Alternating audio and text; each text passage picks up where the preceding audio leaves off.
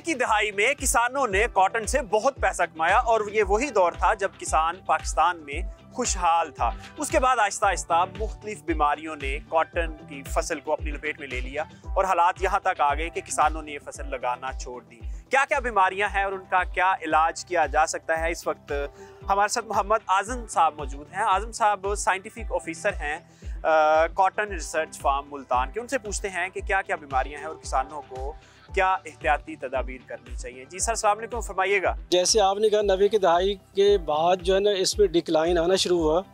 उसकी वजह जो है, एक तो बहुत ज़्यादा पत्ता मरोड़ बीमारी आई थी पत्ता मरोड़ वायरस जो था, उसकी वजह से काफ़ी डिक्लाइन आया कपास में ना। उसके बाद बीटी का दौर शुरू हुआ जैसे तो बीटी की वजह से लोगों ने बहुत अच्छी पैदावार ली।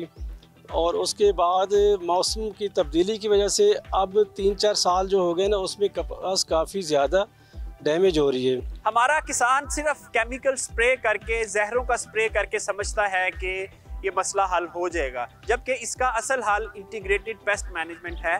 तो क्या आप लोग वो फार्मर्स को सिखाते हैं बताते हैं और फार्मर उसको एक्सेप्ट करता है? सर यहाँ पे हमारे फार्म पे हमने पहले जो है ना वाइट फ्लाई ट्रैप्स लगाए थे, जिसको येलो ट्रैप कहते हैं ना।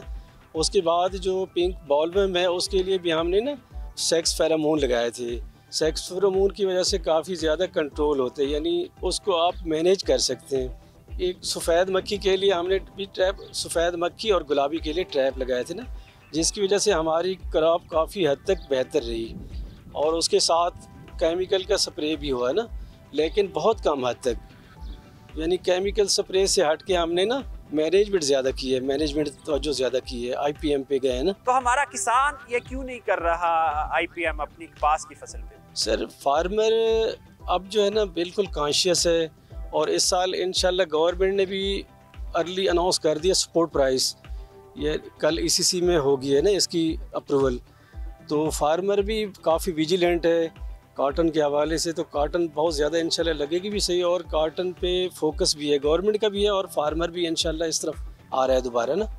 पिछला रिकॉर्ड हमारा 2011 का था और उसमें हमने कोई 15 16 मिलियन बेल्स प्रोड्यूस की। आपको समझ आपको लगता है कि इस साल हम उतनी प्रोड्यूस कर पाएँगे? सर चौदह शरी आठ था। बिल्कुल ना सही फरमा रहे हैं आप। इससे अंदाज़ा ये है कि क्योंकि फार्मर कम्युनिटी ना इस वक्त कॉटन की तरफ़ आ रही है और इन कॉटन जो है ना बहुत अच्छी पैदावार देगी। अल्लाह ने करम किया तो फिर इन ज़रूर ये हम हासिल कर लेंगे ना। या हमारे यहाँ जो सफ़ेद मक्खी है उसका अटैक होता है गुलाबी सुंडी का अटैक होता है। कुछ बॉल जो हैं बॉल वर्म्स भी हैं वो कौन कौन से? सर जो नॉन बीटी वैरायटीज़ हैं वहाँ पे तो सपाटेड आ रहा है ना सपाटेड जो है। लेकिन अब बीटी की वजह से चितकबरी सुंडी वगैरह कोई नहीं आती ना।